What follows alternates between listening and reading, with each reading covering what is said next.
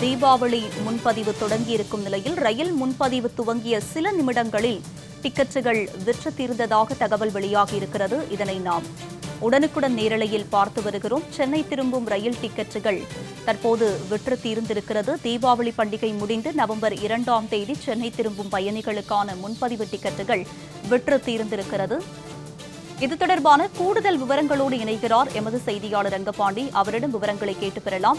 ரங்கபாண்டி எவ்வளவு பேர் முன்பதிவு செய்திருக்கிறார்கள்? இது தொடர்பான விவரம். வணக்கம். தீபாவளி முடிந்த சொந்த ஊர்களுக்கு சென்றிருந்து சென்னைக்கு திரும்புவதற்கு நவம்பர் இரண்டாம் தேதிக்கான ரயில் முன்பதிவு டிக்கெட் தொடங்கிய சில மணி நேரத்தை விட்டிருக்கிறது ஒவ்வொரு ஆண்டும் தீபாவளி பண்டிகைக்கு சென்னை கோவை மதுரை திருச்சி போன்ற பெருநகரங்களில் இருந்து சொந்த- சொந்த ஊர்களுக்கு மக்கள் எளிய முறையில் செல்வதற்காக பண்டிகை நாட்களுக்கு நூத்தி இருபது நாட்கள் முன்னதாகவே ரயில்களில் டிக்கெட் முன்பதிவு தொடங்கும்.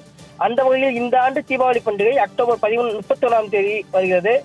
தீபாவளி பண்டிகைக்கு சொந்த ஊர்களுக்கு செல்பவர்கள் ரயிலில் முன்பதிவு டிக்கெட் விற்பனை அக்டோபர் இருபத்தி மூணு முதல் தொடங்கி நிறைவு பெற்றது. குறிப்பாக தென் மாவட்டங்களுக்கு செல்லக்கூடிய ரயில்களில் முன்பதிவு தொடங்கிய ஒரு சில மணி நேரத்தில் அனைத்து டிக்கெட்டுகளும் விட்டு தீர்ந்தன.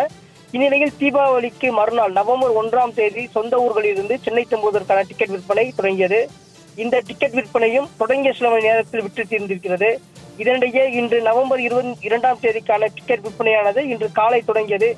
தீபாவளி முடிந்து செ- சொந்த ஊர்களில் இருந்து சென்னை திரும்பும் மக்கள் இன்று காலை எழும்பூர் ரயில் நிலையத்தில் முன்பதிவு படிவத்தை எழுதி டிக்கெட்டை பெற்றுக் கொண்டனர். இந்நிலையில் இன்றைய டிக்கெட் விற்பனையும் தொடங்கிய சில மணி நேரத்தில் விட்டு தீர்ந்திருக்கிறது. இந்த முன்பதிவு டிக்கெட்டுகளை நேரடியாகவோ அல்லது ஐஆர்சிடி ஐஆர்சிடிசி செயலி மூலமாகவும் முன்பதிவு செய்யலாம் என தென்னக ரயில்வே ஏற்கனவே அறிவித்திருக்கிறது. உங்களுடைய விரிவான விவரங்களுக்கு நன்றி ரங்கபாண்டி